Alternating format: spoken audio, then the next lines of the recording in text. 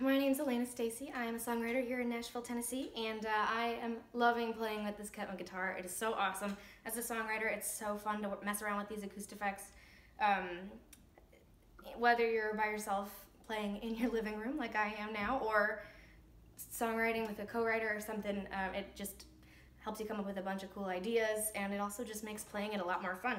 Um, this reverb makes the guitar sound so full, and it just totally fills the room up.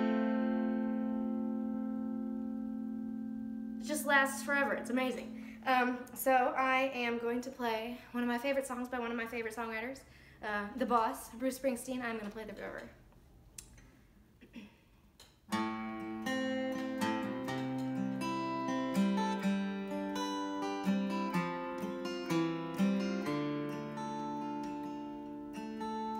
I come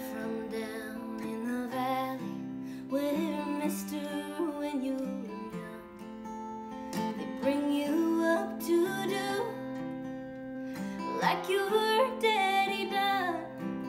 One of the things that I really love about these acoustic effects is this delay. Check this out. That is so cool that that's coming out of this guitar.